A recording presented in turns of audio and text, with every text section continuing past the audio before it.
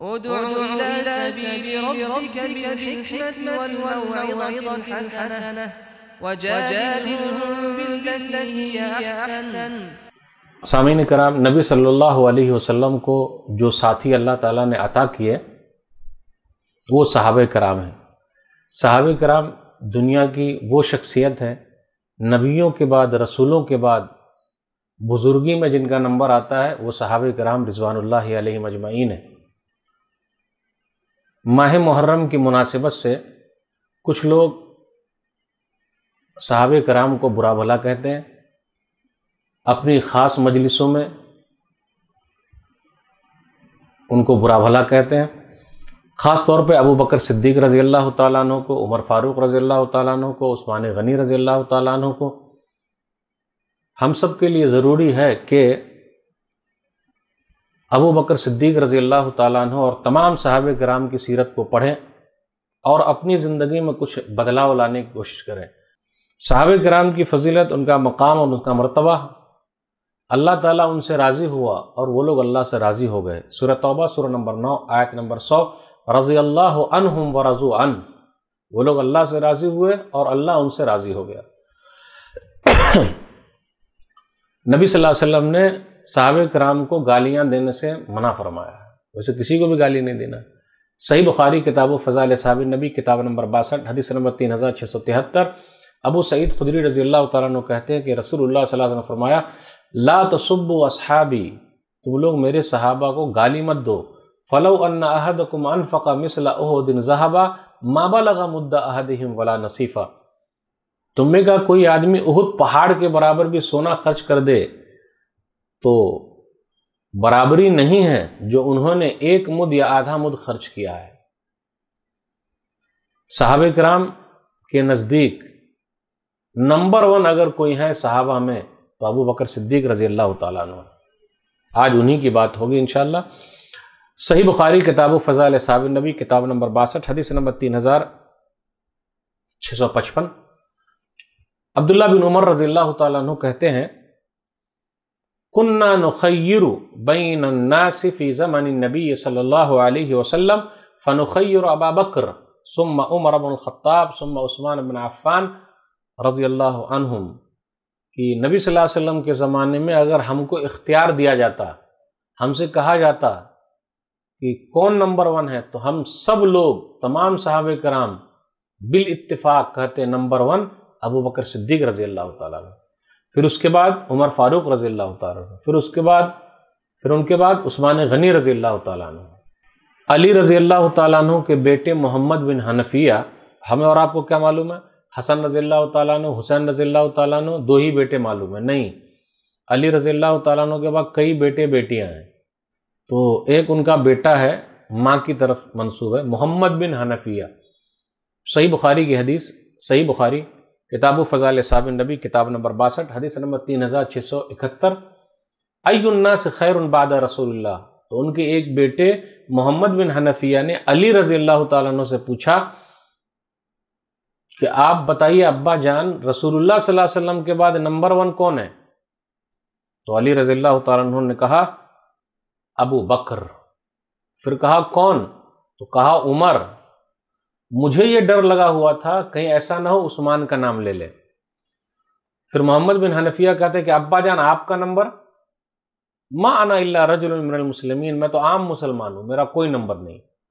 لیکن آج کل قوالی میں آپ سنتے ہوں گے، دمادم مست قلندر علی کا پہلا نمبر۔ لیکن خود علی رضی اللہ تعالیٰ عنہ کہتے کہ نہیں، میرا نمبر ہے ہی نہیں، کوئی نمبر نہیں ہے۔ بلکہ پہلے نمبر پہ کون ہے؟ ابو بکر صدیق رضی اللہ تعالیٰ عنہ۔ علی رضی اللہ تعالیٰ عنہ کو ابو بکر صدیق رضی اللہ تعالیٰ عنہ سے محبت ہے، عمر فاروق رضی اللہ تعالیٰ عنہ سے محبت ہے، عثمان غنی رضی اللہ تعالیٰ عنہ سے محبت ہے، تمام صحابہ کرام سے محبت ہے۔ اسی لیے تو اپنی بیٹی ام کلثوم عمر رضی اللہ تعالیٰ عنہ کے نکاح میں دے دی۔ اور اپنے بیٹوں کا نام ابو بکر رکھا، عمر رکھا، عثمان رکھا، علی رضی اللہ تعالیٰ عنہ نے۔ اسی طریقے سے حسن رضی اللہ تعالیٰ عنہ نے بھی اپنے بیٹوں کا نام ابو بکر رکھا، عمر رکھا، عثمان رکھا۔ اسی طریقے سے حسین رضی اللہ تعالیٰ عنہ نے بھی اپنے بیٹوں کا نام ابو بکر رکھا، عمر رکھا، عثمان رکھا۔ الوداع و نہایت جل نمبر آٹھ، صفحہ نمبر پانچ سو تراسی اور چھیاسی میں پڑھیے۔ کربلا کے میدان میں ابو بکر شہید ہوئے، عمر شہید ہوئے، عثمان شہید ہوئے۔ اور آپ لوگ بولیں گے، ارے کون سے ابو بکر شہید ہوئے؟ کربلا کا واقعہ کب کا ہے؟ ساٹھ اکسٹھ ہجری کا واقعہ ہے۔ تو یہ کون سے ابو بکر شہید ہوئے؟ کون سے عمر شہید ہوئے؟ کون سے عثمان شہید ہوئے؟ ابو بکر نام کے شہید ہوئے، عمر نام کے شہید ہوئے، عثمان نام کے شہید ہوئے۔ کون؟ علی کا بیٹا ابو بکر، حسن کا بیٹا ابو بکر، حسین کا بیٹا ابو بکر شہید ہوئے۔ علی کا بیٹا عمر، حسن کا بیٹا عمر، حسین کا بیٹا عمر۔ علی رضی اللہ تعالیٰ عنہ کا بیٹا ابو بکر، حسن رضی اللہ تعالیٰ عنہ کا بیٹا عمر۔ ابو بکر، عمر۔ حسین رضی اللہ تعالیٰ عنہ کا بیٹا عمر۔ ابو بکر شہید ہوئے۔ علی رضی اللہ تعالیٰ عنہ کا بیٹا عثمان۔ حسن رضی اللہ تعالیٰ عنہ کا بیٹا عثمان۔ حسین رضی اللہ تعالیٰ عنہ کا بیٹا عثمان شہید ہوئے۔ کتنے لوگ کربلا کے میدان میں شہید ہوئے بتا سکتے ہیں؟ بہتر۔ بہتر شہید ہوئے، بہتر لوگوں کی لسٹ لگتی ہے، لیکن اس میں آپ کو ابو بکر نام کا کوئی نام نہیں ملے گا۔ عمر نام کا کوئی نام نہیں ملے گا۔ عثمان نام کا کوئی نام نہیں ہے۔ کیوں؟ کیونکہ اگر ابو بکر لکھ دیں گے تو پرانے ابو بکر یاد آ جائیں گے۔ عمر لکھ دیں گے تو پرانے عمر یاد آ جائیں گے۔ عثمان لکھیں گے تو پرانے عثمان یاد آئیں گے۔ آپ دیکھیے گا، بہتر لوگوں کی لسٹ میں لکھا رہتا محمد اکبر محمد اصغر۔ اس سے مراد وہی لوگ ہیں، ابو بکر، عمر، عثمان، جو ان تینوں کے بیٹے ہیں۔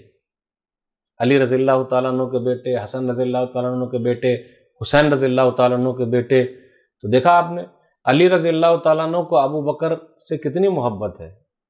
عمر رضی اللہ تعالیٰ عنہ سے کتنی محبت ہے؟ عثمان رضی اللہ تعالیٰ عنہ سے کتنی محبت ہے کہ اپنے بیٹوں کا نام انہی کے نام پہ رکھا۔ اور ابو بکر صدیق رضی اللہ تعالیٰ عنہ کو بھی اہل بیس سے کافی محبت ہے۔ غور کریں، صحیح بخاری، کتاب و فضائل اصحاب النبی، کتاب نمبر باسٹھ، حدیث نمبر تین ہزار سات سو بارہ۔ ولدی نفسی بید لقرابت رسول اللہ صلی اللہ علیہ وسلم احب الیہ ان اصل من قرابتی۔ رسول اللہ صلی اللہ علیہ وسلم کے رشتہ داروں سے اچھا سلوک کرنا، مجھ کو اپنے قرابت داروں سے، اپنے قریبی رشتہ داروں سے اچھا سلوک کرنے کے مقابلے میں زیادہ حقدار۔ زیادہ پسند ہے کہ میں رسول اللہ صلی اللہ علیہ وسلم کے رشتہ داروں کا خیال رکھوں۔ صحیح بخاری کتاب المناقب، کتاب نمبر اکسٹھ، حدیث نمبر تین ہزار پانچ سو بیالیس۔ اقبا بن حارث کہتے ہیں صلاح ابو بکر الاسرا ثم خرج يمشي فرع الحسن يلعب مع السبيان فحمله على عاتقه. فقال، بأبي شبيه بالنبي. لا بشبي بعلي. بأبي شبيه بالنبي، لا شبيه بعلي، وعلي يضحك.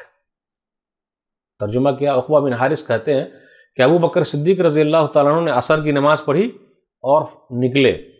تو دیکھا حسن رضی اللہ تعالیٰ عنہ بچوں کے ساتھ کھیل رہے۔ کتنی محبت ہے اہل بیت سے؟ تو حسن رضی اللہ تعالیٰ عنہ کو کندھے پر اٹھا لیا۔ ابو بکر صدیق رضی اللہ تعالیٰ عنہ اور کہا، میرے میرے باپ یعنی میرے ماں باپ قربان ہو جائے، حسن کا چہرہ تو نبی کے چہرے سے ملتا جلتا ہے، علی کے چہرے سے نہیں ملتا جلتا۔ تو علی رضی اللہ تعالیٰ عنہ وہیں پہ ہنسنے لگے۔ بولے، حسن رضی اللہ تعالیٰ عنہ کا چہرہ نبی صلی اللہ علیہ وسلم کے چہرے سے مل رہا ہے، علی کے چہرے سے نہیں مل رہا ہے۔ اب تعریف سنی بیٹے کی۔ علی یزحق اور علی رضی اللہ تعالیٰ عنہ ہنسنے لگے۔ تو کتنی محبت ہے۔ بڑے افسوس کے ساتھ کہنا پڑتا ہے کہ دشمنان اسلام بولتے کہ نہیں، دونوں کے درمیان دشمنی تھی۔ علی رضی اللہ تعالیٰ عنہ اور ابو بکر صدیق رضی اللہ تعالیٰ عنہ کے درمیان۔ بات بالکل غلط ہے۔ اور مزید ویڈیوز کو دیکھنے کے لیے آپ ہمارے یوٹیوب چینل کو سبسکرائب کریں۔ فجزاکم اللہ خیرہ